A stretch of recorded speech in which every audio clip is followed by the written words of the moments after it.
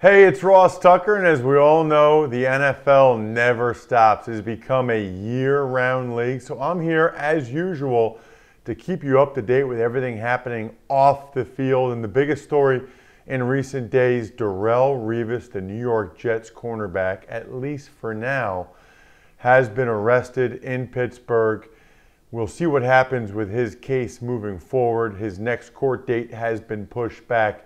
There are some legal experts out there that believe he will be exonerated of all charges. I think either way, he's going to get released by the New York Jets. They may try to find out if there's any way they can get out of the $6 million they still fully guarantee. And we'll see if Darrelle Revis even wants to play football anymore. You'd like to think, with as poorly as he played in 2016, that he would like to bounce back and not end his career on such a sour note with performing as poorly as he did a year ago and then getting in trouble off the field like he has. Speaking of off the field, a couple of guys switching teams, trading teams, but not for each other.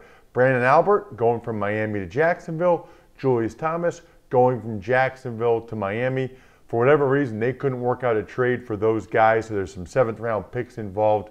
The contract's probably an issue, but it does make sense. The Jags need a left tackle. Branden Albert's perfect.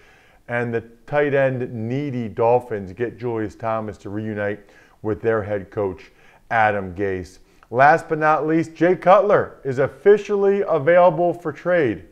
He said, I don't think anybody actually would want to trade for Jay Cutler. I say good luck to the Chicago Bears on that one.